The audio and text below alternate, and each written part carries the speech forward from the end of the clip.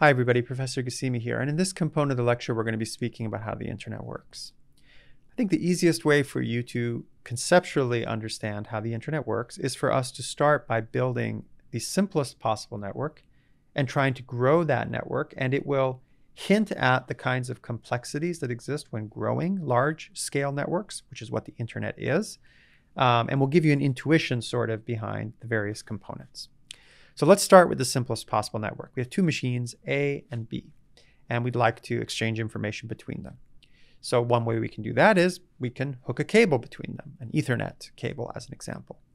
And after we have a cable connecting them, what we would need is some uh, agreed upon way to, to send the information across that cable, right? So we need a way to turn the digital signals in, in machine A into an analog signal that moves across that cable to B, and then a way for B to translate that analog signal back into the digital signal so it understands what A was sending along. If we did that, we now have a network that allows A and B to communicate. Okay, and if that process worked and it worked well, we might be interested very quickly in adding new machines to our network, right? Instead of A and B, we might, might want A, B, C, D, E, F, G, HI, and J to become part of this great network. And we might initially and very naively uh, take a cable and connect each device to every other device so that they can each exchange information. And that would be great because there's a direct means of communication between each of the devices now.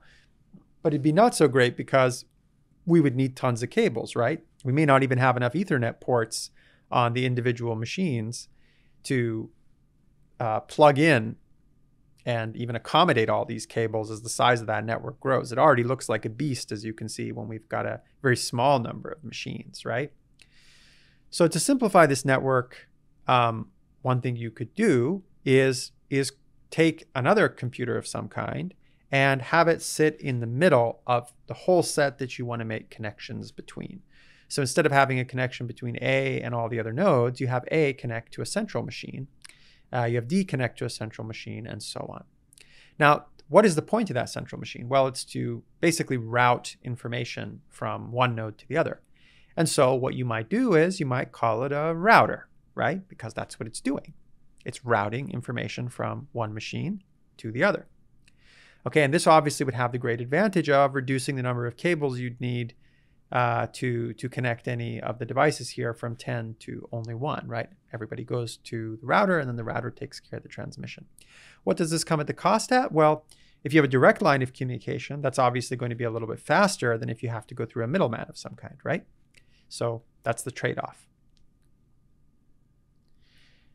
Now, if you have devices like, for example, nodes A through E connected to a router, um, and you wanted to send information to another network of some kind that let's say in our class we had built a network of computers we had connected with a router and you know some other class had another uh, network of computers they, they had connected. Well we could just connect the routers together right? And now uh, we can send information from a to our router from our router to their router and then to whichever the nodes on the other side needed to collect that information and we'd be good to go.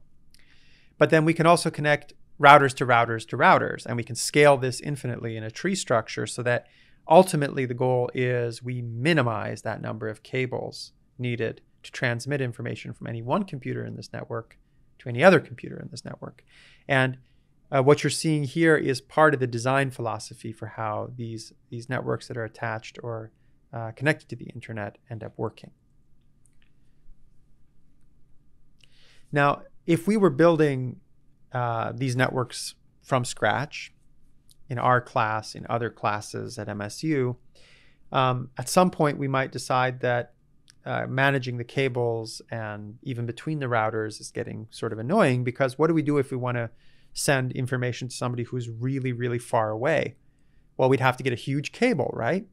Where could we find some huge cables, right? If only there were some huge cables that were just strewn about our cities that we could piggyback on so that we could send this information. Oh, that's what phone lines are, right? Phone lines are these giant cables that run all over the place and basically touch everywhere.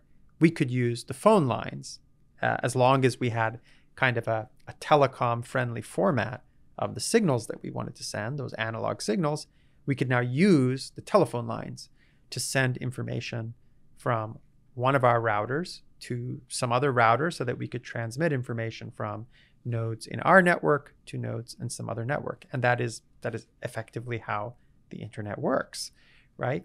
The device that's used to take the information from your router and turn it into that telecom friendly format so that it doesn't violate any of the uh, assumptions or, or, necessities of uh, sending information along a telephone line is what a modem is. Okay.